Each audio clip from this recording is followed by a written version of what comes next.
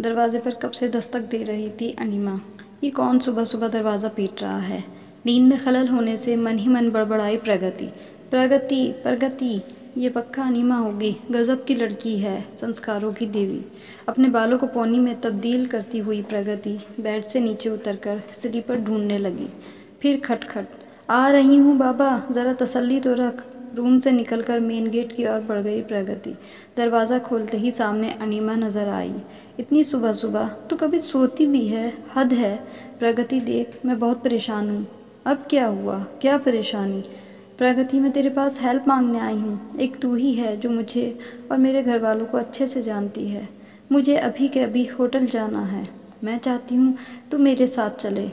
प्रगति अभी से अब इतनी जल्दी ऐसा भी क्या हो गया? अनिमा, वह सब मैं तुझे बता दूँगी। अभी तू फटाफट तैयार हो, मेरे साथ चल। प्रगति, पहले तू मुझे बता, बात आखिर क्या है? प्रगति चिल्लाई, चल ठीक है, मैं चलती हूँ। कुछ मिनट बाद, अनिमा प्रगति के साथ होटल में पहुँच गई। अनिमा, लगता है हम कुछ ज़्यादा जल्दी आ गए।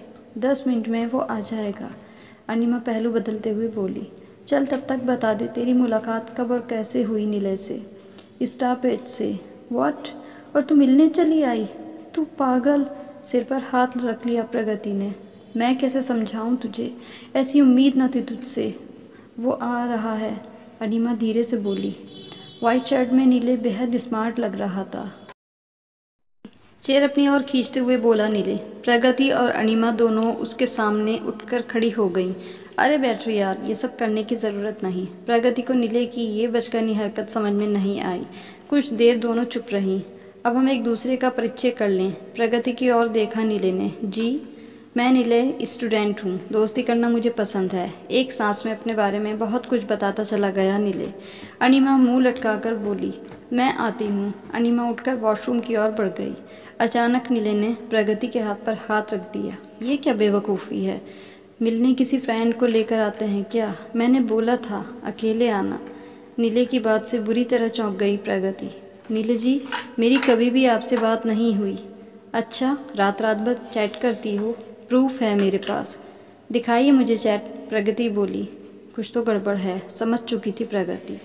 देखो, कुटिल मुस्कान से देखा नीले ने। नीले, मोबाइल आगे बढ़ा दिया। सबसे पहले उसे उसकी खुद की पिक नज़र आई, जिस पर जान लिखा था। प्रगति के मन में धमाके उठ रहे थे। लगभग सभी पिक में अनिमा के साथ प्रगति थी। सारे खुशनुमा पल। आगे कुछ अश्लील मैसेज थे। उसके बाद की पिक पर नज़र पड़ते ही पूरी तरह से हिल गई प्रगति। वीडियो कॉल की स्क्रीनशॉट पर चेहरा कहीं नज़र नहीं आ रहा था। बेवकूफ़ लड़की। उसके, उसने मन ही मन सोचा। फिर नीले की ओर देखकर उठ खड़ी हुई। उसका मोबाइल लेकर सीधे अनिमा की ओर बढ़ गई। पलक झपकते ही प्रगति लेडीज़ टॉयलेट में घुस गई। नीले को कुछ समझ ना आया। प्रगति की उंगलियाँ तेज़ी से प्रूफ मिटाने में लग गईं। सब मैसेज पिक डिलीट हो चुकी थी। अब प्रगति को तसल्ली हुई। प्रगति ने मोबाइल टॉयलेट के अंदर डाल दिया और तेज़ी से बाहर आ गई। और, सर, मेरे दोस्त का सेल फ़ोन टॉयलेट में गलती से गिर गया है। ये क्या तमाशा है? मेरा मोबाइल कहाँ है? वो टॉयलेट में गिर गया। प्रगति बोली, क्या मज़ाक है अनिमा? अनिमा कौन? अनिमा नहीं, प्रगति हूँ मैं। अनिमा बेवकूफ़ है, मैं नहीं। अब तक शोर शराबे की वजह से भीड़ इकट्ठी हो गई थी। अनिमा ने सब सुन लिया था।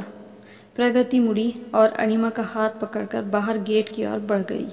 नीले उन्हें जाते हुए देखता रह गया। अब क्या सोचा? चाय का कप अनिमा को बढ़ाते हुए बोली, प्रगति, कुछ नहीं।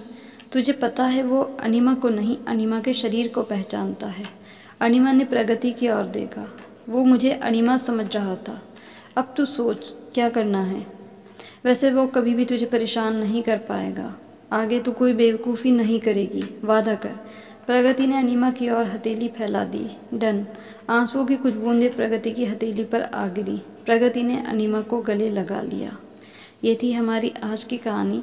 हमारी इस कहानी को शेयर ज़रूर कीजिएगा ताकि इससे सभी लड़कियाँ सीख लें और अगर आपको कहानी अच्छी लगी हो तो इसे लाइक कर दें, शेयर करें और हमारे चैनल को सब्सक्राइब कर लें। Thanks for watching.